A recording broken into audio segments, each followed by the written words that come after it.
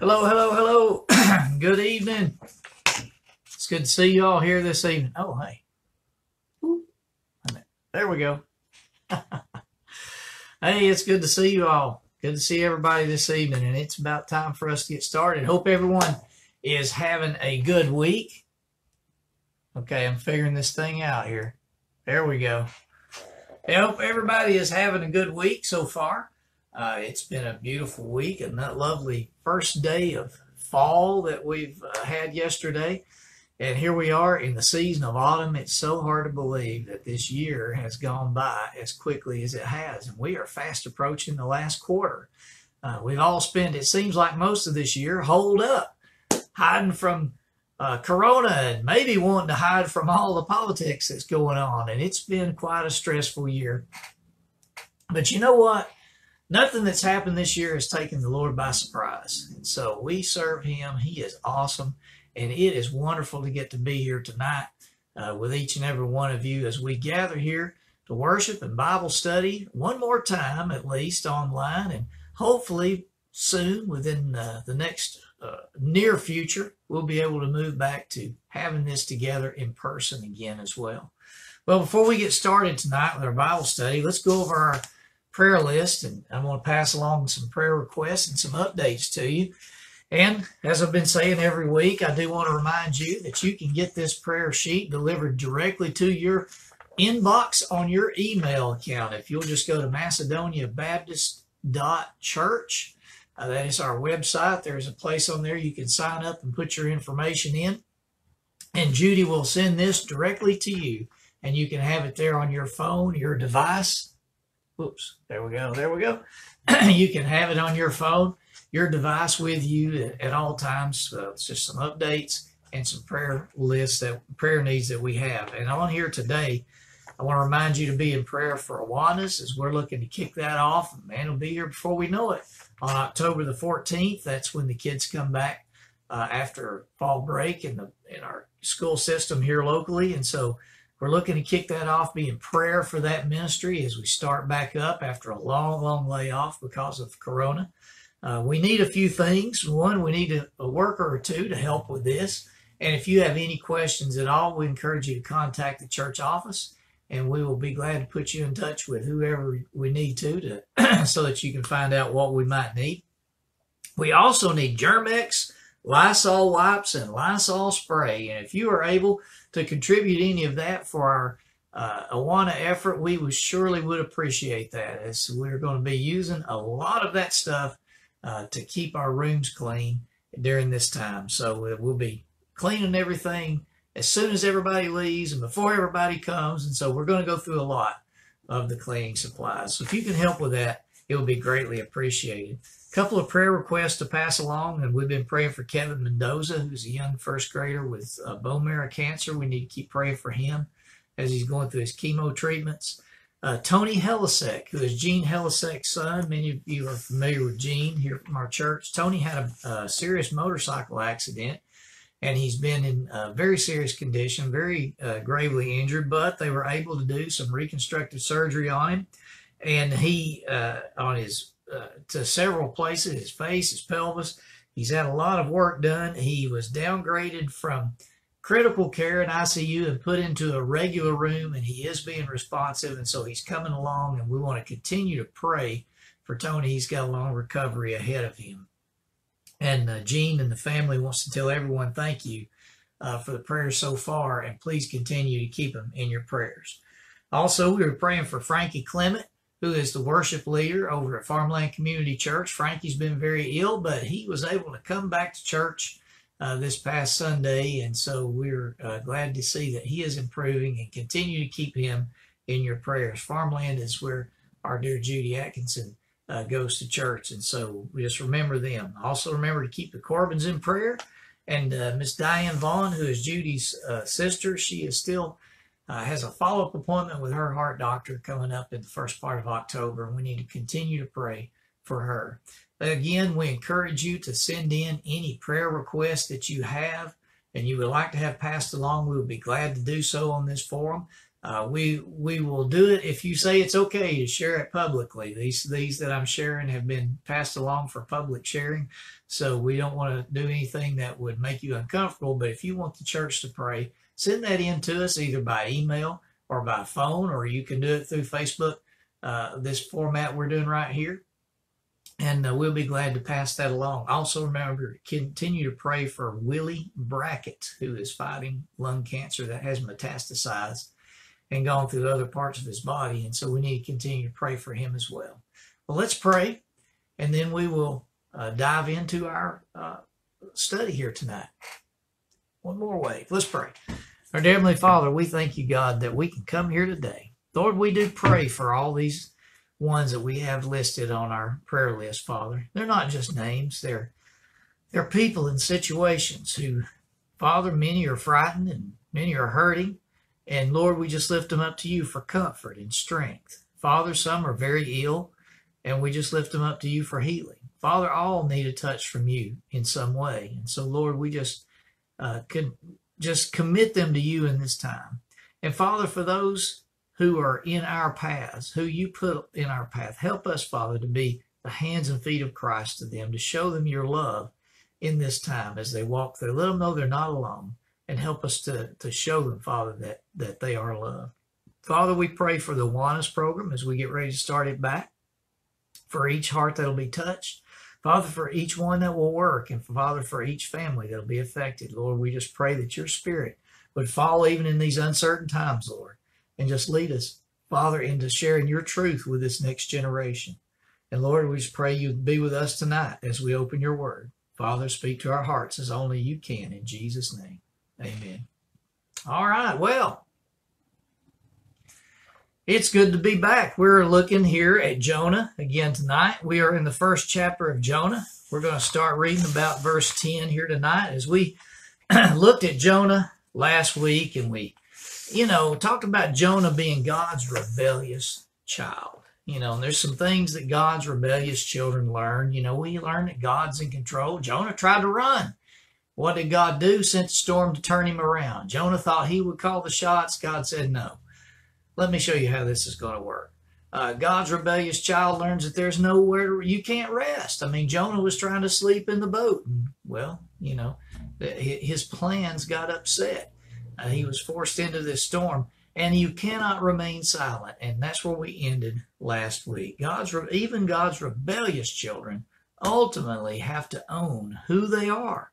And we saw that in verse 9 where Jonah said to the sailors, I am a Hebrew and I fear the Lord God of heaven who made the sea and the dry land. And so even God's rebellious children at some point find that we can't remain silent and we have to own who we are. Well, we're going to continue in this vein as we start down here into verse 10 tonight.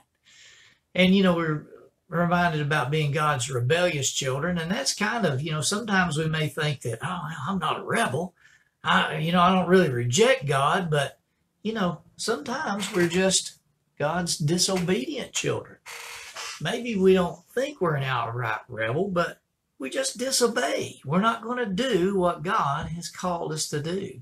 And so, anyway, this is where we find Jonah. He's rebelling, he's disobedient, and unfortunately, I find all too often that he reflects me more than I want to admit. And especially as we look at these next few verses here tonight. Jonah chapter 1, starting in verse 10.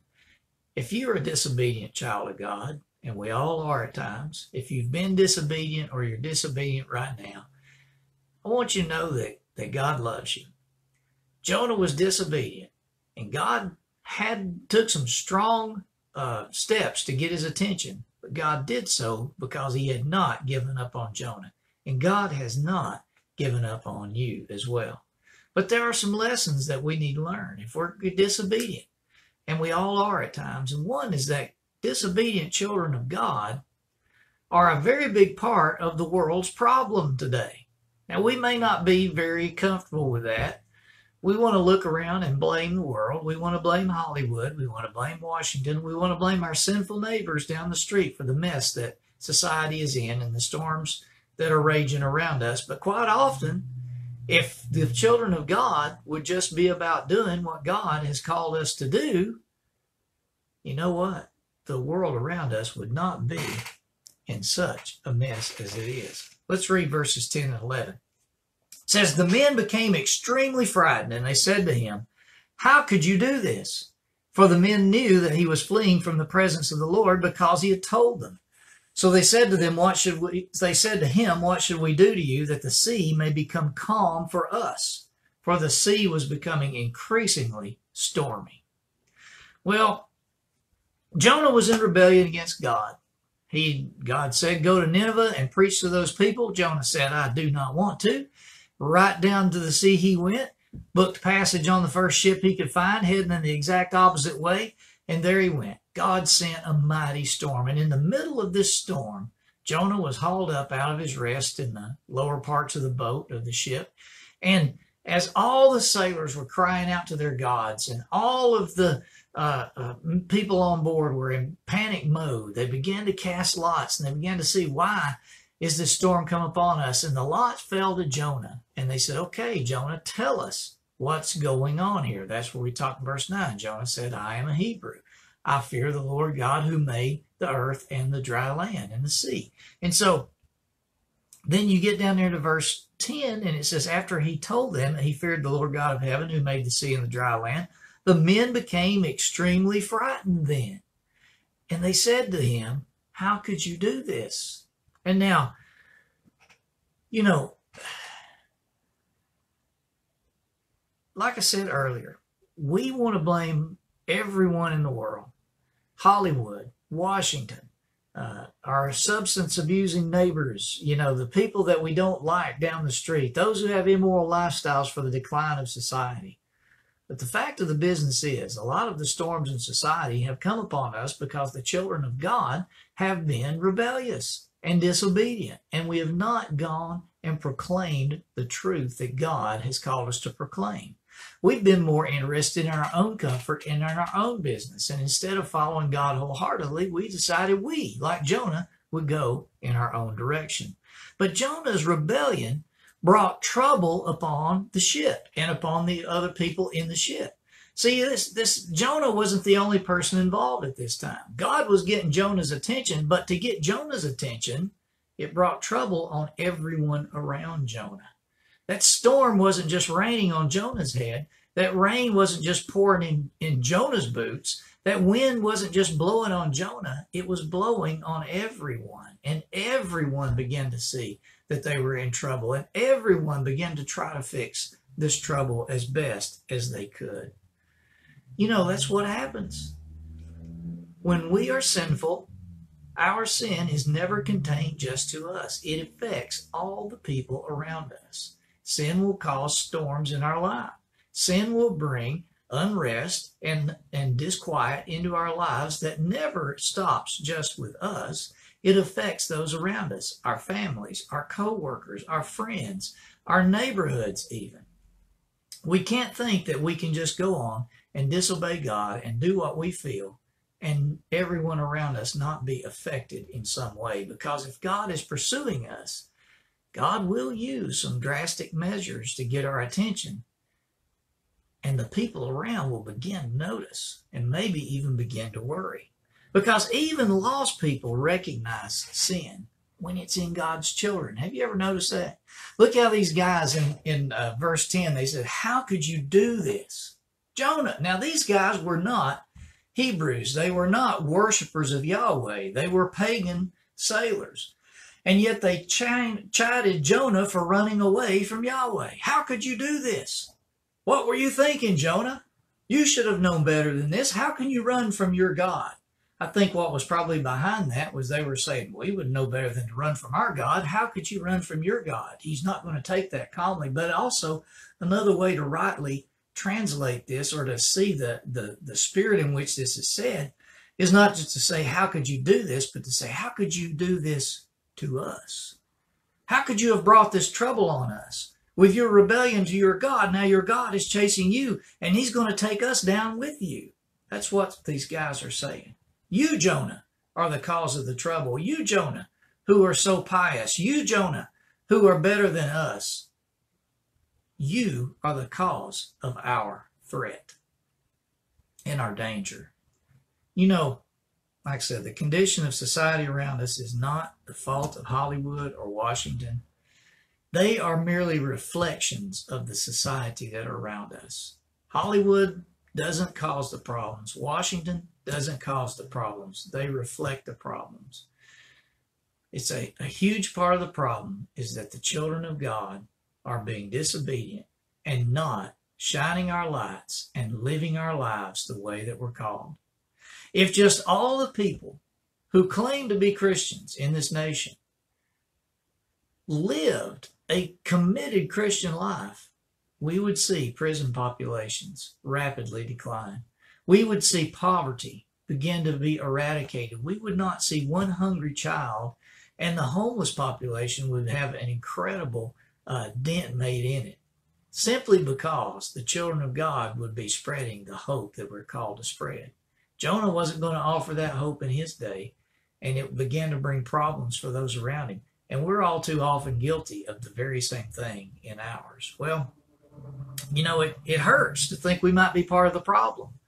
To look down the street and see the addiction and see the broken homes and to see the wreckage that is in our societies and think, am I part of that problem?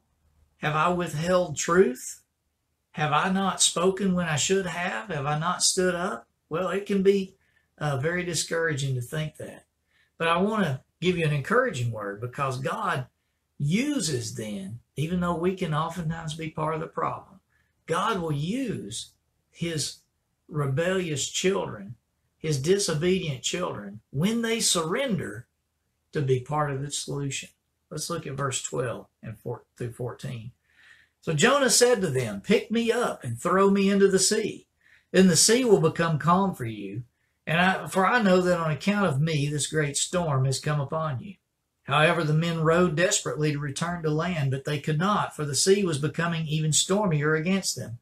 And they called on the Lord and said, We earnestly pray, O Lord, do not let us perish on account of this man's life, and do not put innocent blood on us, for thou, O Lord, hast done as you have pleased. Well, Jonah finally surrendered. You see that? He said, Pick me up and throw me into the sea, and the sea will become calm, for I know on account of me this great storm has come upon you. Jonah finally surrendered. But interestingly, he didn't really surrender to God's will, but he did surrender to God's judgment. He had not surrendered to God's will yet. He still wasn't ready to go to Nineveh at this point. He still didn't want to do what God told him to do, but he did surrender to God's judgment. He said, God's judgment and his wrath have come upon you because of me. So throw me into the sea, and then it will be okay for you. Jonah does show some noble qualities here. I, I, you know, we beat Jonah up a lot. Jonah gets taken to task a lot, but I, you know, he's more of a positive model than we give him credit for often. Even Christ in the New Testament speaks of Jonah in a positive light. And so, as we look at this, we need to understand that Jonah is someone who does believe wholeheartedly in God. Jonah is someone who was an effective prophet in his day. He's someone who has kind of slipped here. He's not, this is not his finest moment, but we all have those times. But Jonah, when he recognizes what's happening, he says, Throw me in, guys. Don't let this, don't go down because of me. Don't die because of my rebellion. Throw me into the sea. God's after me. I will accept his judgment and I will accept his wrath, and you can go free. And in this, we see a pretty magnanimous spirit in Jonah. He, he finally did surrender to God, not to God's will, but to his judgment. But the solution seemed way too dreadful to these guys, even to these pagan sailors. In verse 13, it says, Oh, they began to row desperately for the land. Evidently, the ship was not too far from land at this time. They could they still thought they could get back. And so they began to row desperately, it said. That just sounded awful. Jonah said, Throw me in, everything will be fine. And even these pagan sailors said, Oh, that's too terrible of a price. That's that's that's that's too bad. We can't do that. That's just too too drastic. And they didn't want to take that step. And you know, even pagans know it's wrong to kill and murder for no reason, and they did not want to be held guilty for that. I mean, they wanted to do the best thing they could by Jonah. They wanted to look out for him. They said, no, there's no need for that. We'll see if we can save you. And they continued to try to solve this problem in their own strength and in their own wisdom. But ultimately, they realized they had to surrender to God's will as well. They had to surrender. And you saw that in verse uh, 14 where it said, they called on the Lord and they said, and when they called on the Lord, that, that is that is Yahweh there in that verse, the name of, of the holy God, the personal name of Israel's God. They called on him, someone whom they were not worshippers of, but they began to see his power and see what was happening in Jonah's life. And they began to call on Jonah's God. And they said, We earnestly pray, O Lord, please don't let us die on account of this man. And don't hold his blood against us. Uh, don't let us perish. Don't, don't hold us guilty for killing an innocent man. Now, they would have understood that Jonah wasn't innocent before God, but as far as they were concerned, he was innocent. He hadn't done anything to them that would warrant retribution from them. They began to recognize that all of this was in God's hand, that all of this was a God's instigation. And if they had any hope whatsoever, they had to surrender to God's work and to God's will, even as dreadful as it might sound. And so they picked up Jonah and threw him overboard. They surrendered to God and they prayed for forgiveness. You know, look, there's a picture of salvation here with these pagan sailors. They finally gave up their own efforts trying to save themselves. They finally gave up their own wisdom trying to make sense of what was happening. And they turned completely and wholeheartedly and called on the name of the Lord. And the Bible tells us all who call upon the name of the Lord will be saved. And so, in calling on Jonah's God, they showed an act of faith and they trusted his grace, they trusted his goodness, and they followed his will, and they were delivered from the storm. You know, that's that's basically what salvation is. We trust God's grace, we lean uh, on his mercy, and we're delivered from the storm of sin in our life. These men came to salvation because Jonah finally surrendered. I mean, he was indirect. He wasn't the greatest witness, but he was a witness nonetheless. And you and I don't have to be the most eloquent witness. You and I don't have to be the wisest witness. We just have to be willing to surrender. And when we surrender, we become agents of salvation. God can use us to point people to Him. It is He who saves, not us anyway. Jonah didn't save these sailors by getting thrown overboard. God delivered them from the tempest after they followed His will. And that's all we need to do as well. And Jesus tells us over in Luke chapter 9, you know, that we are to surrender ourselves to be his disciples. He said, Whoever would become my disciple must deny himself, take up his cross daily, and follow me. We surrender wholeheartedly to Christ. Take up our cross. He didn't say we have to learn to speak eloquently and we have to get uh, 15 degrees to hang on the wall. He just said, Take up your cross, surrender your life, and start following me. And when we do that, we can become agents, salvation agents that God can use to shine hope and and and wisdom and life into this dark and dying world.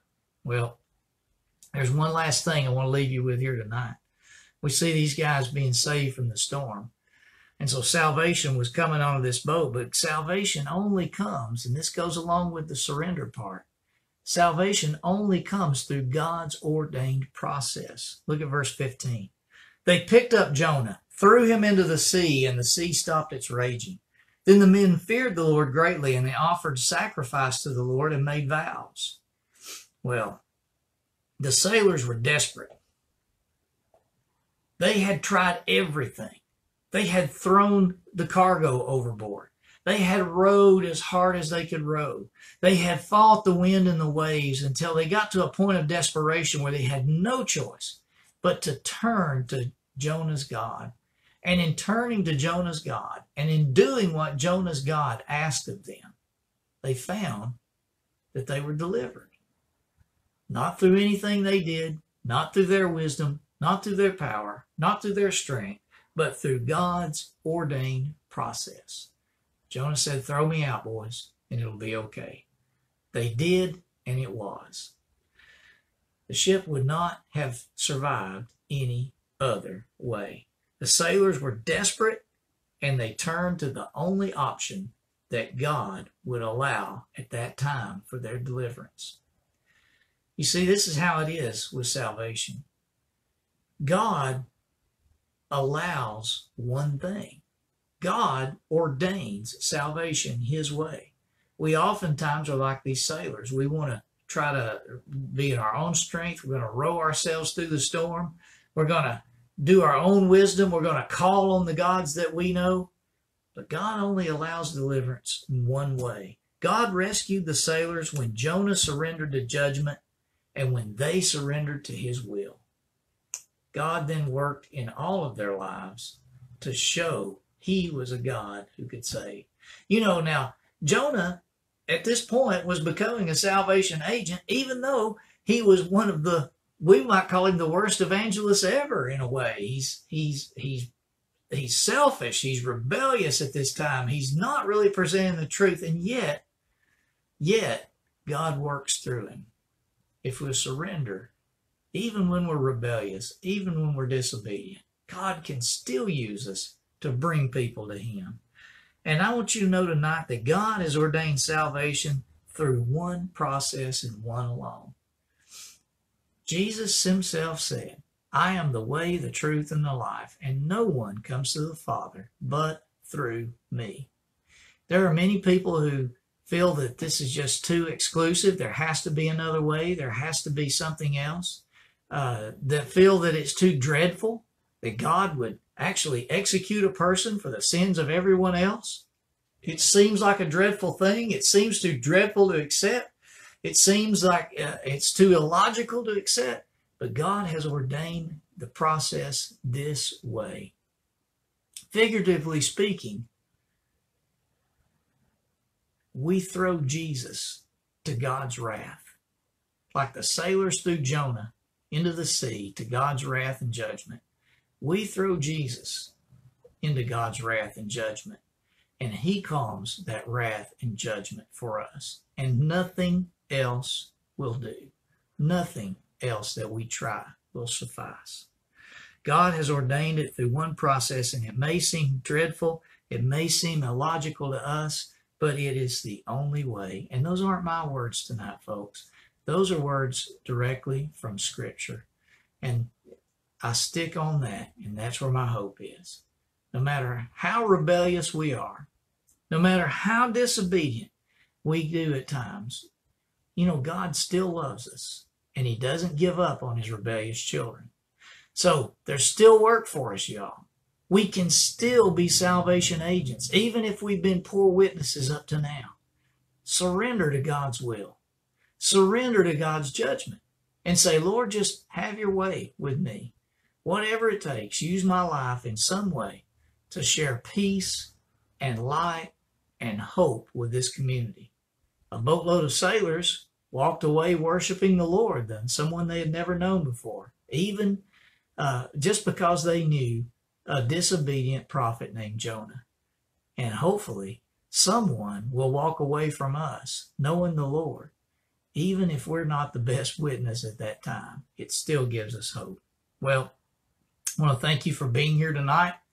And I hope everyone has a good night, good week, the rest of the week. And I look forward to seeing you right back in our sanctuary here, 3119 Spring Place Road here in Cleveland, Tennessee at Macedonia Baptist Church. We will be here for our worship at 10 o'clock Sunday morning.